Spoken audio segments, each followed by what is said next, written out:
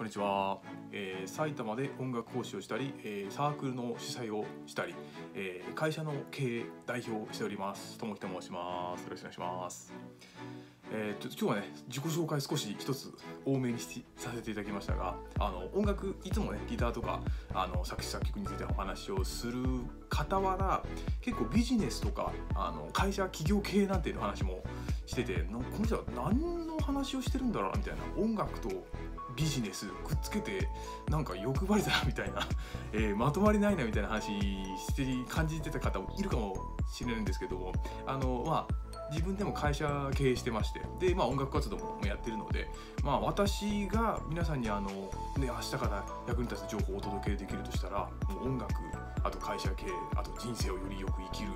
まあ、基礎的な話なかなと思ってるので、まあ、もうそういうのを全部ギュギュッと詰めてお届けできたらと思いちょっとまあ今回自己紹介を改めてあの音楽と、えー会社経営についてあのやってますよってことをお伝えさせていただきました。えーで今回はですね、えーとまあ、その会社経営の色がちょっと強いお話なんですけれども、えー停止は衰退というテーマでお話をさせていただきたいと思います。えー停止は衰退、えー停止は止まるこうピタッ止まるんですね。えー衰退っていうのはまあ落ちていくっていうことなんですけど、まああので会社とかだとつまりあの売り上げとかあのやっていること日々の仕事の内容なんかも、まあ、もちろん音楽活動もそうですけど今やってることやれてることをまあできるようになった時はまあすごく嬉しくてああできるようになった成長したってなってでその後できることをずっとやっている状態が続くとそれは衰退だっていうお話です。まあ、あのちょっとね意味が分かんないので具体的なお話をちょっと一つ挙げていこうと思うんですけどもえっ、とまあちょっとここで音楽の一つお話を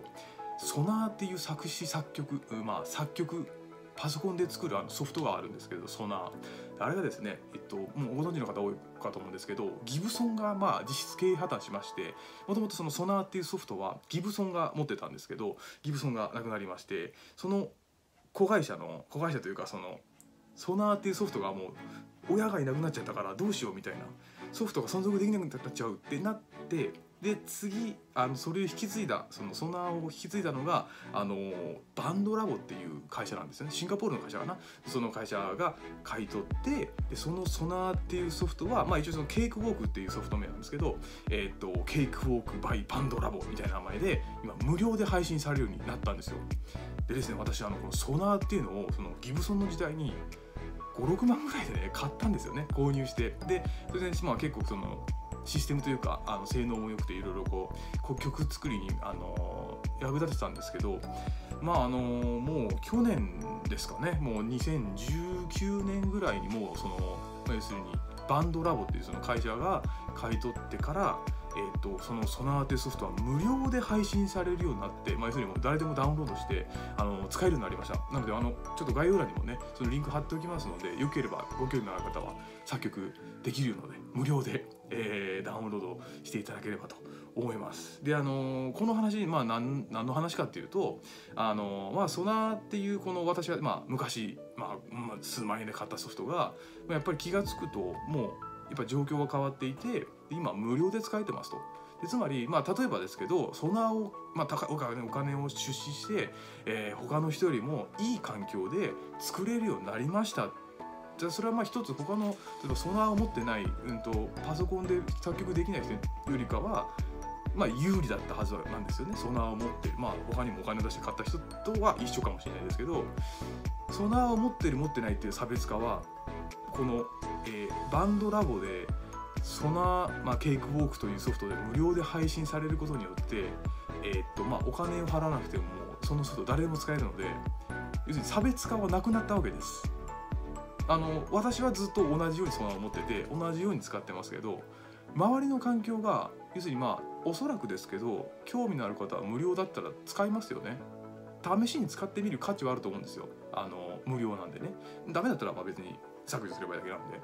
あでもまあ結果要するに私はずっと同じ場所にいた。でも周りの環境がより使いやすい環境に、まあ、要するにレベルアップ成長していった。もう、えー、と進歩していったっていう状況ですね。私はずっとここにいたで周りの環境はここだったのがだんだんこう周りがこう成長していく。でも私はずっと一緒。なので私はずっと停止している状態。で周りがどんどん成長している状態。ここの時点で同じなんですけどもう勝ってたのがどんどん負けてか最後には、ま、あの追い抜かれちゃってるので止まってるだけだと要するにここから見たら衰退なんですよね。っていうことをあの言いたいわけです。なのであの、まあ、基本的にはもう社会この世の中ですかねあのもういろんな人がいていろんなこう才能ある方がもうどんどん新しいサービスとか商品とかあの生み出してますのででそういったものをどんどん我々も、えっとまあ、ユーザーとして使いながらもユーザーとして何かを生み出してまたサプライヤーとなるみたいな感じがまあもうありますよね。まあ、こんだけもうインターネットもこうやって動画もいっぱいありますし情報もいっぱい入りますしなのでもうこういかにいい情報を、えー、早くえー、自分にとって適切に取り込んで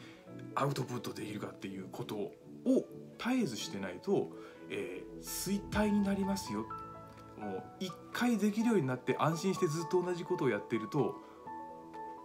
負けちゃいますよっていうお話でございます。じゃあでまあその手一つまあ最近の自分のことを振り返ってなんかなんか新しいことチャレンジしてないなとかちょっと最近成長感じられないなみたいなあのお感じになってる方がいらっしゃったらちょっと私からの3つちょっとあのご提案というか私も一応こう気をつけてることなんですけど、えーと、こんなことしたら、えーとまあ、停止にはならないんじゃないかなっていうことを3つお伝えしたいと思います。まず1つ目ですね、えー、まあ、当然ですけど新しい情報に触れるです。で基本的にあのもう自分が知ってることとかできてることってもうそこで完結しちゃってるじゃないですか。なのでそれをあの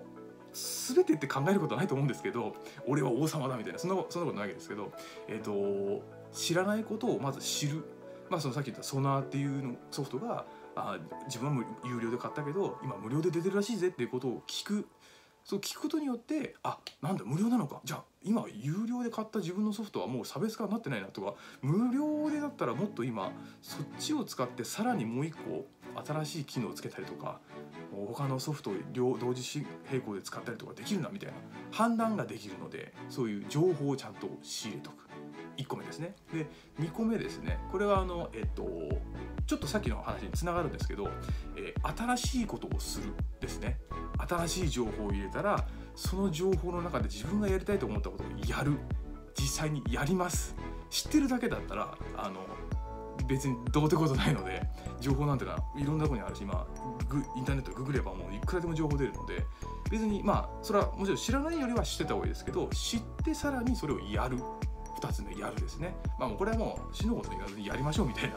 あのとにかく情報の中でやりたいなと思ったやつはやる。ただ一つだけちょっと注意点があるのは、えっと、やる際のリスクは最小限にということですね。まああの例えばこうソナーっていうソフトうんそうだな、えー、例えば40万くらいするそういうソフトを自分じゃ今買えない。でもやんなきゃ新しいしって言って自分ちょっと無理しちゃってやるような感じはダメですね。基本的にはまああの許容の範囲で時間もあんまりたいのに3時間も4時間もかけなきゃできないような作業を要するソフトだったりしたらダメなわけですよ。あの少なくとも自分にはそれはできないので。なので自分が新しいことにチャレンジする際の、えー、まあこれぐらいだったらできるだろうっていう範囲からやるのがまあおすすめですね、まあ、思い切ってガツッとやっちゃうのもいいかもしれないですけど、まあ、私はその、許容範囲なんでやってみるっていうのが2つ目ですねで最後3つ目これが一応あのもうプラスアルファな感じなんですけど、えーと、新しい人またはコミュニティに合う入るですね。なのであのさっきの情報とかやるっていうのは全部こう連動してるんですけど、えー、まあ一番はもう人に会うできれば私の場合音楽サークルもやってるので音楽サークルでいろんな人ギタリストベーシストドラマーとかボーカルあと作詞作曲やる人いろんな人の話聞いてると、まあ、その人のその今の現状とか今見てるこれからのこととかっていうのとのいろんな意見交換ができるので、まあ、一番自分に合った新しい情報とか一緒にやれる仲間がこうできるので、まあ、123が全て連動して、えー、まああと1人だけだとどうしてもすぐあの諦めちゃうというかえっとまあやんなくてもいいかみたいになっちゃうんですけどまあ仲間といればあの、まあ、あいつも頑張ってるから俺も頑張ろうみたいなそういうこう励まし合いというかあの切磋琢磨というかいうことにもなるのでまあ3番目として、えー人に会うできれば同じ思考趣味、えー目標を持っている人もしくはコミュニティサークルですねに入るということが、えー、とこの動画のおすすめとして3つポイントを挙げさせていただきました。えー、とこの、ね、概要欄にも書いてます。もう音楽レッスンもやってますし、えーサークルも出題してますのでもし音楽お好きな方いらっしゃったら、えーぜひご連絡いただければと思います、えーこの動画良かったと思う方はいいねボタンと、えお気に入り登録をしていただければと思いますのでまた動画の方見ていただければと思います。では失礼します。